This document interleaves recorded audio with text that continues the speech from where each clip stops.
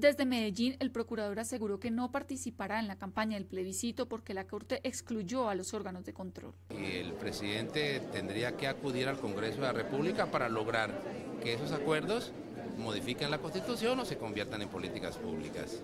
El jefe del Ministerio Público indicó que el fallo no va en la línea de lo pactado en La Habana, a lo que la presidenta de la Corte contestó. Yo respeto mucho las posiciones y los comentarios que haga el señor Procurador General de la Nación, pero indudablemente lo que la Corte tiene que hacer en su tarea constitucional es estar acorde con la Constitución. No fue la Corte, es la Constitución Política de Colombia que establece unas provisiones para que los servidores públicos que están vinculados a la rama judicial, a los organismos electorales de control, eh, fuerzas eh, públicas, eh, no puedan participar en política aseguró que la Corte y el Congreso podrán realizar control de lo acordado.